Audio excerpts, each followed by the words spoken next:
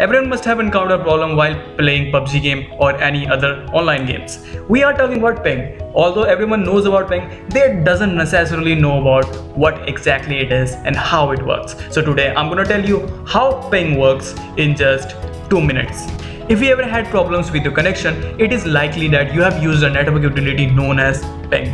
Implemented by default in the vast majority of operating systems, the purpose of a ping is to determine if the destination host identified with a particular IP address is accessible from another host.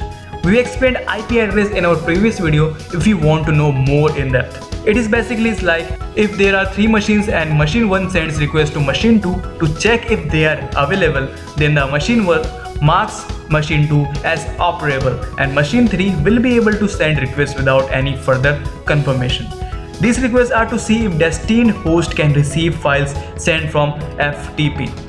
These files are in packets instead of continuous transfer. One of the main advantages of this method are in many multiplayer games as you may have seen.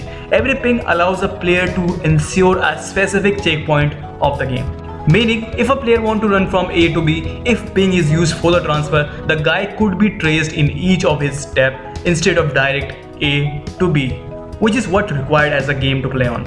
Also, the higher ping means it takes that much time to trace the game or send files. A normal 40 ms ping signifies it takes 40 milliseconds to send file each, while 900 ms means it will take 900 milliseconds to send the same.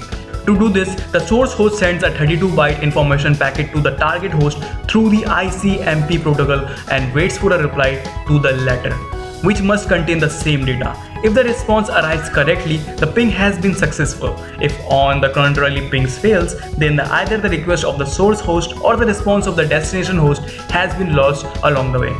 So until the next amazing video, keep hitting your bright spot.